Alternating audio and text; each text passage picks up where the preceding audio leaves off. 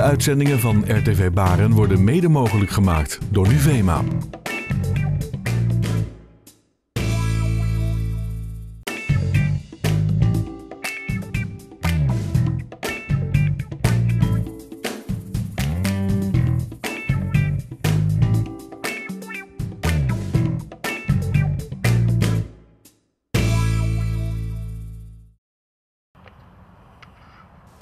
Vanavond vindt alweer de vijfde editie van de E-Factor hier in Eemnes plaats. Tien acts zullen strijden voor de titel, de wisselbeker en de prijs van 100 euro. Het is een talentenshow onder leiding van Robert-Jan Vos. Daarnaast zie je een klein stukje van het gasoptreden van Ayoub. Hij is de winnaar van de Voice Kids 2014. Oké, dames en heren, opnieuw. Uh, we hebben een heel vol programma voor jullie vanavond. We hebben tien deelnemers die vanavond voor jullie komen optreden op dit podium. Uh, vele van hen doen dat voor het allereerst, dus dat is hartstikke spannend. En ehm, wat er gaat gebeuren, wij kondigen iedereen aan. Wij zijn de presentatie van vanavond. Ik ben Bram, dit is Timo. En wij zijn van Fix Entertainment uit Laren. Hey, en waarom hebben jullie nou voor deze act gekozen om te gaan doen op deze talentenjacht? Nou ja, zij kon, zij kon heel mooi zingen. En toen uh, ja, bedachten we uh, iets van, nou dan kan... Uh, toen bedacht zij van, nou dan kunnen misschien ook wel goed dansen. En en nou, het begon allemaal dat ik te horen kreeg van deze talentenjacht. En het leek me wel leuk om eens een keer in te schrijven, want ik wil al acht jaar zangeres worden en zes jaar uh, chirurg. En um, toen dacht, kwam ik bij het idee om me in te schrijven en toen heb ik hun twee ook gevraagd. Want dat leek me ook wel leuk. This is the.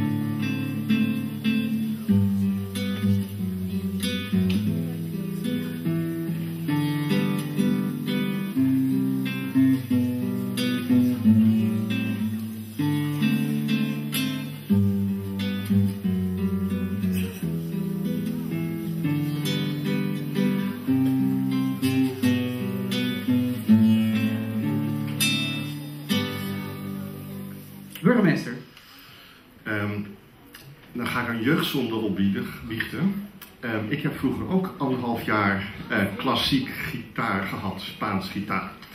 Um, ik kon niet zo heel goed spelen na die anderhalf jaar als jij nu kunt. Uh, want ik weet hoe ontzettend moeilijk dat gitaar uh, spelen is. Want het lijkt zo heel makkelijk als je het een paasje beetje doet. Maar als je die grepen allemaal moet doen in die akkoorden, dus uh, ik vond het ontzettend mooi uh, gespeeld. Heel goed gespeeld. Het waren geen makkelijke stukken. En ik moet zeggen, ja, jij wordt straks die ontzettend populaire jongen op de middelbare school. die straks aan het kampvuur heel mooi romantische liedjes voor de meisjes kan gaan zingen. Dus joh, een hele goede keuze. Ontzettend leuk. Oké, okay, waarom heb je ervoor gekozen om gitaar te gaan spelen op deze talentenjacht?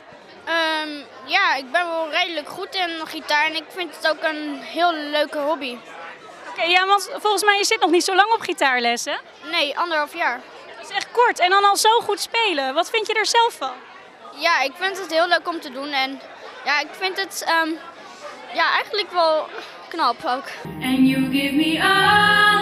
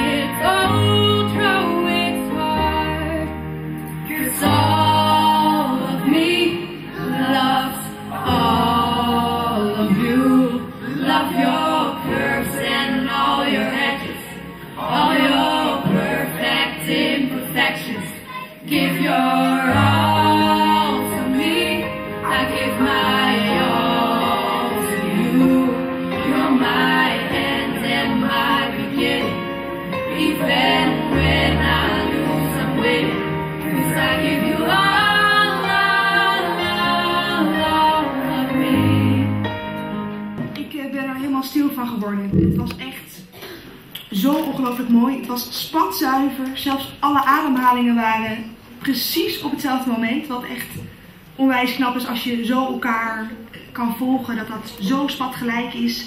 Dames, hoe ging het? Ging wel goed. En hoe vond jij het? Ja, wel wel zenuwachtig, maar het ging wel goed. Het is natuurlijk niet de eerste keer dat jullie aan een talentenjacht meedoen. Uh, hoeveelste keer is dat? Um, de, dit is de vierde of vijfde. En aan welke talentenjacht hebben jullie allemaal meegedaan? Uh, we hebben Junior Songfestival gedaan en twee keer Hollands Got Talent, maar daar kwamen we niet zo ver. Bij ons Got Talent niet.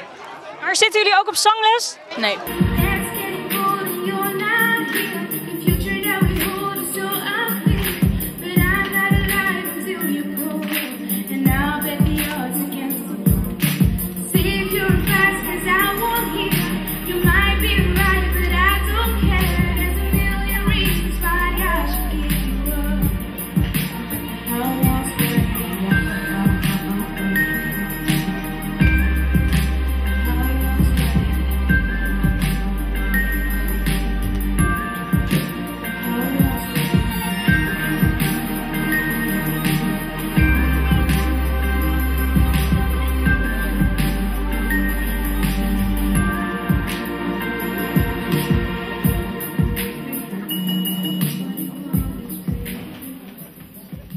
Ja, geef een wat applaus.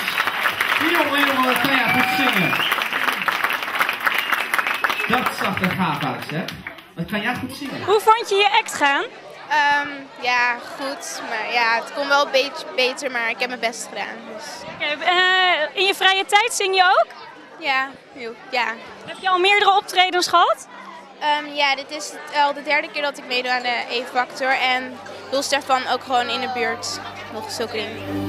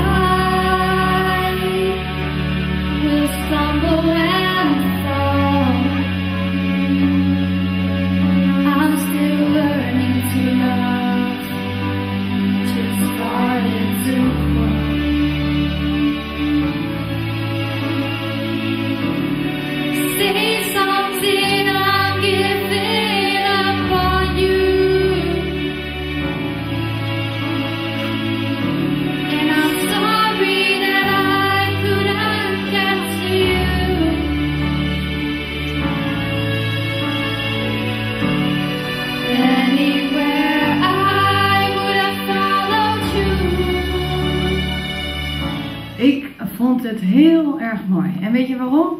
Jullie begonnen en we werden alle, tenminste ik, ik kan alleen voor mezelf praten, ik werd naar je toegetrokken, naar jullie allebei. Het was heel klein, heel intiem en je hebt vanaf dat moment mijn aandacht vastgehouden. Kom maar even bij. Anouk, applaus.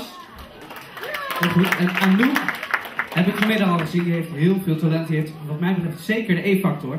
Ze heeft al uh, auditie gedaan voor So You Think You Can Dance. Junior Dance. En twee keer voor Everybody Dance Now. Dus je bent hard aan de weg aan het timmeren. En uh, wat voor dansstijl ga jij ons laten zien vanavond? Uh, Hip-hop, locking en een beetje modern. Kijk aan. We zijn heel benieuwd. Anouk, ben je er klaar voor? Oké, okay, dames en heren, een heel groot applaus voor Anouk.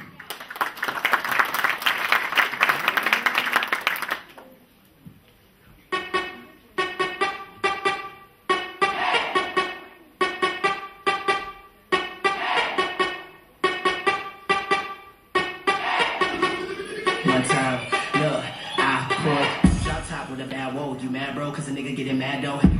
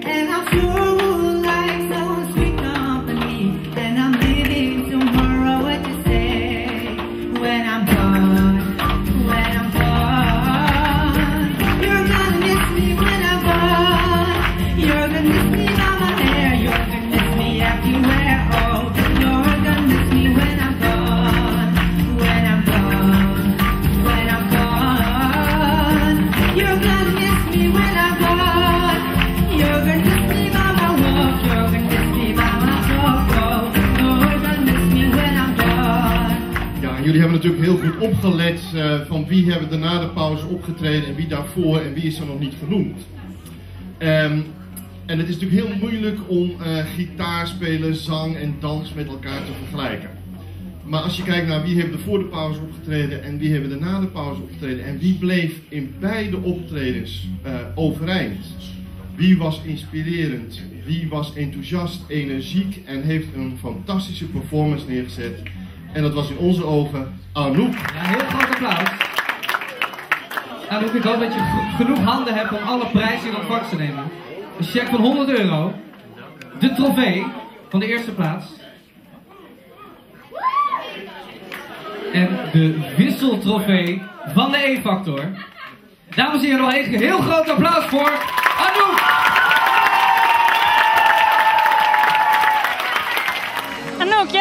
winnares. Hoe vind je dat? Heel leuk, ja, echt heel Heb je er hard voor getraind? Ja, heel hard. Ja. Ja, wat heb je er allemaal voor moeten doen? Ik moet muziek mixen en heel hard trainen na schooltijd en zo. Wat ga je met de 100 euro doen die je hebt verdiend? ja, aan dansen besteden, aan kleding en ja, allemaal met dansen. Ja, voor welke leeftijd is het bedoeld? Het is voor alle leeftijden, dus eh, de jongste eh, van jong af aan tot eh, heel oud mag meedoen. Eh, de jongste vandaag was 9 en de oudste was 70. Oké, fantastisch. En eh, ik vraag me eigenlijk af, hoe vind je het tot nu toe gaan? Eh, heel goed, heel leuk. Het is nu de, de vijfde keer geweest en eh, wij merken toch ieder jaar, net als op televisie, dat je denkt je hebt dat talent in de buurt wel gehad, maar nee, er staan toch steeds weer nieuwe op. Dus we kunnen voor volgend jaar de zesde editie verwachten? Zeker weten, de datum is ook al bekend, dat wordt 9 januari.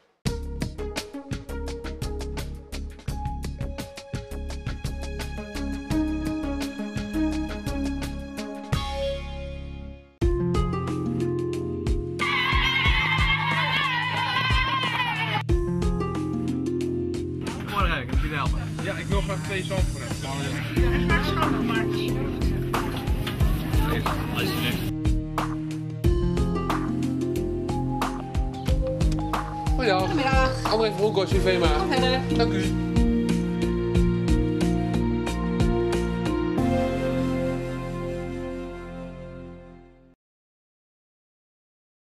Heeft u een gebruikte fiets nodig? Doordat wij dit voorjaar veel nieuwe fietsen hebben verkocht, hebben wij een groot assortiment kwaliteitsgebruikte en elektrische fietsen. Ook voor een stationsfiets hebben wij een goed alternatief.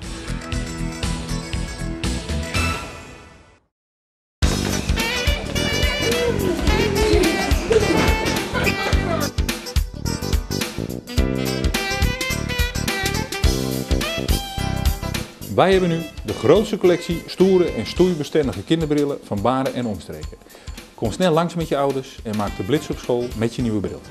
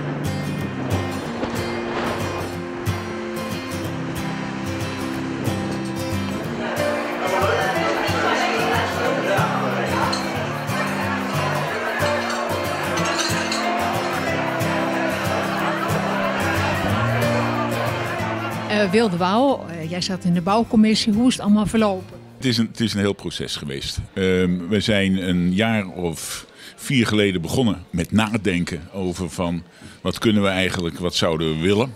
In eerste instantie, als je in zo'n- eh, eh, club als deze bent, dan denk je nou, als we nou eens een keer nieuwe toiletten krijgen, nieuwe badkamers. Maar al heel snel bleek dat de boteropslag was te kort. Ehm, we hadden ehm, een, een werkplaats die iets kleiner was dan nu. En er kon net geen acht in, er konden net geen twee boten in. En wij wisten dat we op termijn botenopslag nodig hadden. En toen hebben we besloten van, nou, dan moeten eigenlijk alle publieke functies moeten naar boven toe. Eh, dat betekent dat je de kleedkamers die vroeger beneden waren naar boven toe brengt. De toiletten naar boven toe brengt. De, behalve het invalide toilet uiteraard. Dat moet heel snel op begaande grond bereikbaar zijn. En ehm, kortom, het betekende eigenlijk een complete sloop van een deel van het gebouw eh, wat vernieuwd moest worden. Arie, heb je ook driemaal in de rond gewerkt om dit hier allemaal klaar te krijgen. Hoe was dat? Ja, zo ongeveer wel. Ik ben de laatste drie maanden hier, eh, had ik mijn bed wel neer kunnen zetten. dus, maar ik hoop dat het resultaat er wel naar is. Alleen de inrichting moet nog wat aan gebeuren en het buitengebeuren is allemaal klaar. En hoe ging dat? Eh, ging dat allemaal naar wens? Eh, al die, die hele verbouwing? De hele verbouwing is prima naar wens gegaan. We zijn twee weken uitgelopen bij een start van, ik geloof meen zes weken later. Dus op zich hebben we vier weken bouwtekort ingelopen. En eh, ja, er waren wel strubbelingen. Maar in zijn totaliteit is het allemaal heel goed verlopen.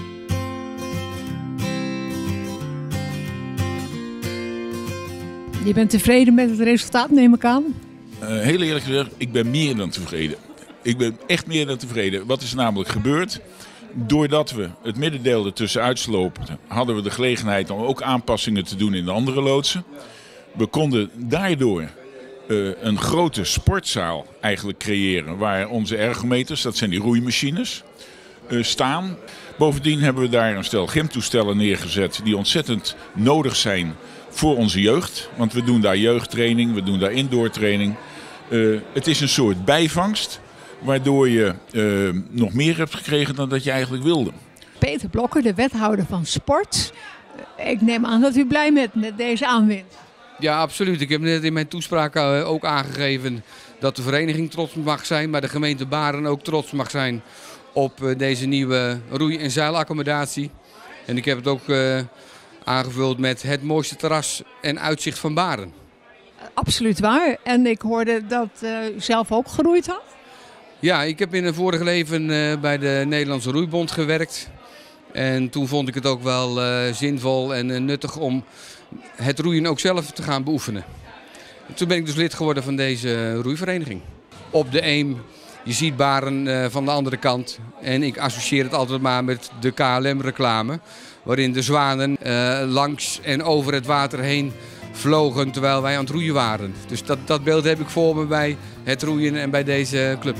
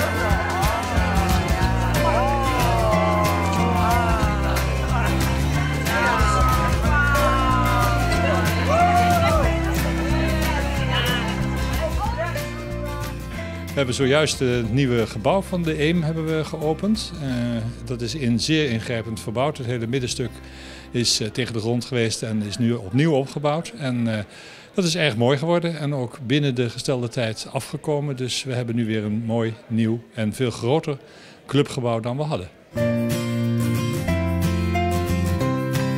Al die tijd konden we natuurlijk het clubhuis niet gebruiken. Hoe is dat verlopen? Nou, we hebben in het uh, voorjaar hebben we drie wisselcontainers gebruikt. En daarvan een groot container hebben we geschonken gekregen. Daar hebben we de tijdelijke kantine van gemaakt met een barvoorziening. En twee aparte cabines gekregen voor de kleedkamers. En voor de rest hebben we heel goed geprofiteerd van de mooie zomer die we gehad hebben. Want we hebben bijna allemaal uh, tot eind oktober geloof ik zo'n beetje buiten kunnen zitten met koffie drinken als er geroeid werd. Maar nu in dit mooie clubhuis, ik denk als je aankomt roeien, dan denk je oh heerlijk koffie drinken in het mooie clubhuis. Ja, nou bijvoorbeeld vandaag was het een vreselijke dag met een enorme wind en, uh, en, en ontzaglijke regen. Uh, als het roeien uh, niet zou doorgegaan zijn vanwege de wind, en dat gaat de, op een gegeven moment kun je niet veilig meer roeien, dus dan gaat dat niet door. dan kun je heerlijk zitten hier en koffie drinken en dat gaat ook voor de zeilers op. En u bent onder de indruk van het gebouw? Ja, onder de indruk van het gebouw, want ik ken natuurlijk het oude gebouw. Um, en ook uh, ja, de, duurzaamheid van het gebouw. En de, je kan, kan men decennia lang weer mee vooruit. Maar waar ik ook uh, ja, wel heel opmerkelijk, in ieder geval uh, niet ge gebruikelijk voor elke vereniging, dat er zoveel leden en vrijwilligers zich hebben ingezet. Niet alleen financieel, maar ook gewoon qua menskracht om dit te realiseren. Wat heb jij allemaal gedaan? Nou, dat durf ik echt niet meer te zeggen. er zijn weinig dingen die ik niet gedaan heb, denk ik zo ondertussen. Nou, het is ook uh, geweldig wat ik hoorde wat alle vrijwilligers hebben gedaan. Dat is buitengewoon. Ik heb daarnet uh, mijn toespraakje daar ook uh, aan alle vrijwilligers veel lof toegezwaaid. De hele vereniging is buitengewoon actief.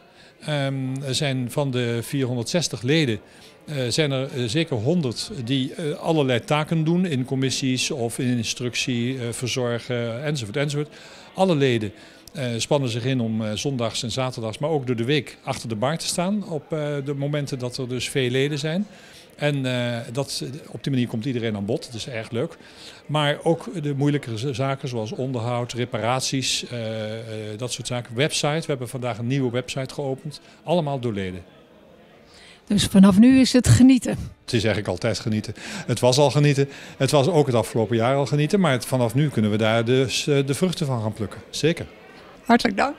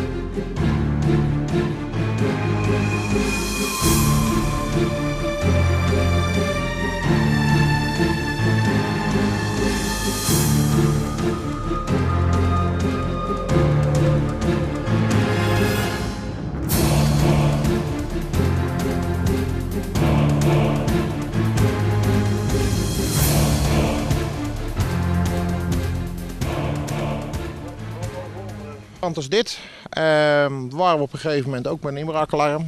En wij uiteraard altijd het pand om.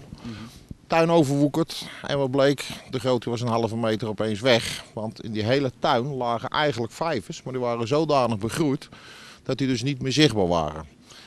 Diverse andere collega's die vielen dus ook, want de hele tuin, dus het is eigenlijk best wel gevaarlijk om in dit soort panden dan toch te kijken of er wat aan de hand is. Ja. Dus dat is een risico wat wij lopen. Maar ja, aan de andere kant, als een inbreker erin valt, is het ook wel grappig. Dat kan gebruikt worden. Stel, mijn collega loopt even om het gebouw heen. Ja. Mocht er toevallig net een raampje openstaan. Nee, pak... staat nergens Nee, raam open. Nee. Ehm, het boevengild is heel creatief eh, Ja, ik het. tegenwoordig. Ja. En eh, als ze een gelegenheid zien, dan maken ze er ook Ja, vaak ik heb gelijk het gebruik gelezen in van. de kranten ook. Dus wij hebben ook s'avonds, we hebben het hek eh, dicht. Hartstikke goed. En Verlichting, de voordeur op slot, verlichten naar de lampen. Kijk, er zitten overal van die schijnwerpers. Hartstikke goed. Dus, maar dit is, u komt net op het moment Ja. dat mijn man vergeten heeft Ja. de garage dicht te doen. Ja, dat zou je net zien. Dus, ja, Wat vindt u van deze actie van de politie? nou, dat vind ik heel goed. Zo worden mensen bewust van eh, hun situatie. Want vaak ben je, heb je het niet in de gaten. En is het altijd zoals het is.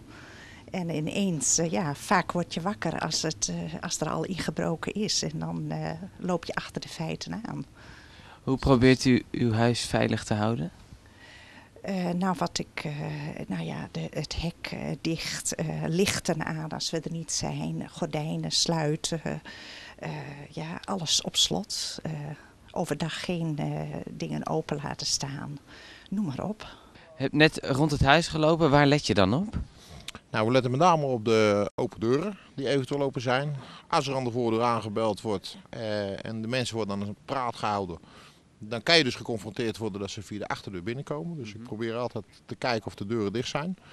Nou, deze woning was helemaal dik in orde. Het enige aandachtspuntje dat we dan hebben is toch een ladder die eh, vrij ter beschikking ligt. Ja, en dat vinden wij dan wel heel vervelend. Want met die ladder kunnen ze toch weer naar de buren of naar de andere kant. Dus dan is deze woning goed, maar het hulpmiddel ligt hier in de garage. Oké, dankjewel. Het ligt natuurlijk voor de grijp. Dus als ik hier vervolgens wat zou willen doen, kan ik het pakken. Ik hoef het niet mee te nemen. Het ligt hier voor de grijp. Doe je niks aan, behalve dan de boel afsluiten. Dus deurtje dicht. Deur dicht op slot. Ja. Mijn eerste indruk is bewoond, dus goed. Ja. Ik weet niet of mijn collega nog dingen heeft gezien. Goeiedag. Hallo. Hier op de hoek is er een raampje. Ja. Eh, ik vermoed dat het van het toilet is. Er staat een raam open, er zit een draaischroef op, zeg maar, voor lu- beluchting. Ja. Maar het is wel een plek om mooi binnen te komen. Er zit een hele mooie vensterbank onder, waar ze op kunnen gaan staan. Dus mijn advies om die toch dicht te doen. Ja, ja. En dan... Nou, dit is een, eh, een eh, gevoelig punt voor eh, inbraak. Eh, een regenpijp waar ze omhoog kunnen klauteren. Een mooie vensterbank waar ze op kunnen staan. Ze kunnen in eerste instantie hier al een eh, blik naar binnen werpen van hoe het verder eh, de ruimte in elkaar zit. Eh, hier zit een, eh, een, een draaischijf. Nou, een beetje handig ben, draai die zo terug. Eh, is het raam open en ben je binnen. U bent van de politie en die zijn vandaag gestart met een actie, een preventieve actie tegen alle woninginbraken. Wat houdt de actie precies in? Eh, de actie houdt in eh, dat wij eh, eh, met collega's, eh, met een flyer en eh, met schoentjes, schoenafdrukken, eh, de wijk in gaan. eh, inbraakgevoelige wijken ingaan. eh, daar de huizen bekijken. Van, eh, hebben de mensen het op orde? Of kan een eventuele inbreker zo naar binnen komen? Dus als wij naar binnen kunnen komen, is het van een inbreker helemaal makkelijk om naar binnen te komen. Eh, dat willen de mensen van bewust maken.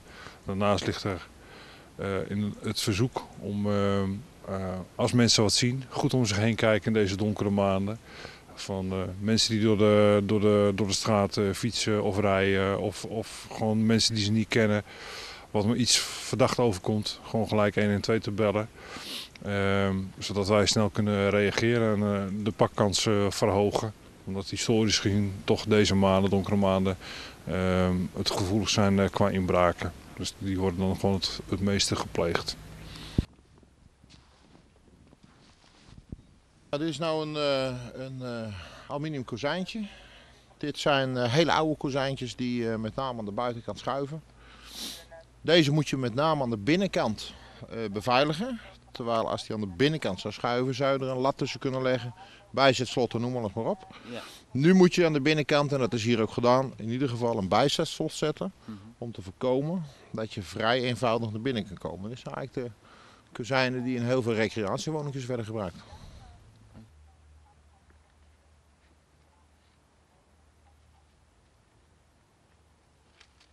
Gaan we nu allemaal op letten? Nou, nu gaan we kijken op wat interessant is voor iemand die eigenlijk wat mee wil nemen om zo snel mogelijk te verkopen. Dat kan zijn eh, garages die eh, wel of niet op slot zijn, eventuele fietsen. Ehm, wil ik toevallig naar boven klimmen om via een dak, wat in dit geval eh, op dit moment nog niet zo zichtbaar is, heb ik daar allemaal landen liggen. Ja, en er staan er nog twee achter me. ja, ja. Dus eigenlijk kijk ik nu naar dingen waarvan ik zeg van joh, de woning is wel goed.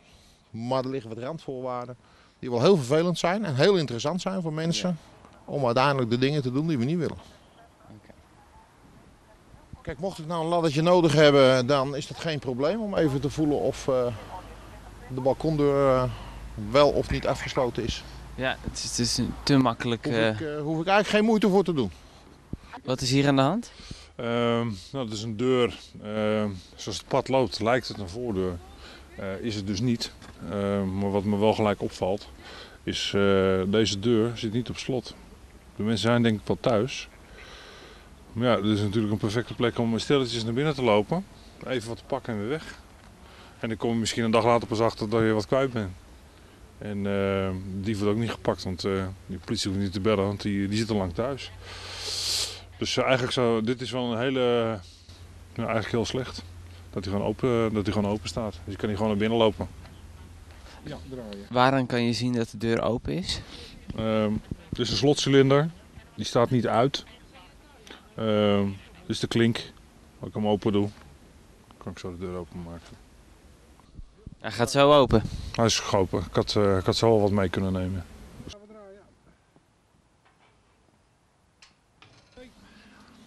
Nou, op deze wijze hier. Op deze wijze zijn we binnen. En we kunnen het hele pand betreden. Althans, in ieder geval aan de buitenkant. Beter slot dus. Als je dan toch een hek hebt, doe hem dan op slot. Of zorg in ieder geval dat hij niet op deze wijze kan worden geopend. Oké. Kunnen we dit een kijkshop noemen? Ja, ik zie eh, voldoende leuke spullen waarvan ik zeg van nou voor de heb en voor de handel is dat helemaal niet mis. Gordijnen dicht dus. Nou, in ieder geval zorgen dat het een beetje bewoond uitziet. Eh, zijn er specifieke wijken en welke zijn dat dan in Baren? Nou, in principe mag je eigenlijk heel Baren eh, niet vergeten. Eh, wat nu de laatste weken is deze, de, Zuidwestwijk, zeg maar, bij het station, aardig wat inbraken geweest. Aan de andere kant, bij Noordschil, zijn ook diverse inbraken geweest. Maar ja, dat, dat kan zich zo verschuiven. En daarom hebben we ook teams zeg maar, die, die in deze donkere maanden ingezet gaan worden. En eh, op straat aanwezig zijn om eh, het een en ander te monitoren. En eh, ja, het mooiste zijn om een paar boeven te pakken. Dat zou natuurlijk het allermooiste zijn. Hoe lang gaan jullie hiermee bezighouden? Ehm, nou, de actie is nu eind november begonnen. December, januari nog een deel van, van, van februari. En we hopen dat het resultaat heeft in die zin dat er zo min mogelijk inbraken geweest zijn. Dan heeft het in ieder geval eh, toch een eh, effect gehad. Waar moeten mensen nu extra goed op letten? Nou, eh, dat geven wij in ieder geval aan met, met de flyers. Er staan allemaal preventietips in, waar mensen misschien niet zo 1, 2, 3 aan denken. Ehm, wij lopen met die schoenen, die, die gele schoentjes. Die plakken we op plekken waarvan we zeggen, nou daar, daar zijn we zo binnen. Dus om toch een beetje een, een, een, een, een schrik-effect bij de bewoner te creëren van, oh, dan moet ik inderdaad wel een beetje, beetje op gaan letten. Eh, maak van je woning geen, eh, geen kijkshop, hè? Geen, eh, geen etalage, van om eh, zomaar allemaal eh, dingen voor het grijpen liggen. Eh, zorg in ieder geval dat, eh, dat alles afgesloten is, zeker als je weg bent. Ook ga je maar heel kort een boodschapje doen. Eh, heb ook sociale controle bij de buren, bij elkaar, houd in de gaten. Zie je iets verdachts eh, of je vertrouwt iets niet, mag je gewoon 112 bellen. Dat is gewoon een verdachte situatie. Ehm, en dan komen wij met grote spoed eh, ter plaatse. En dan eh, kunnen we het beter voorkomen als dat we eh, na de inbraak moeten komen. Het laatste dat ik wil zeggen is heel veel succes met de actie. We hebben natuurlijk al een paar dingen gezien die niet helemaal goed zijn. En dat zal vast wel verbeteren. Succes.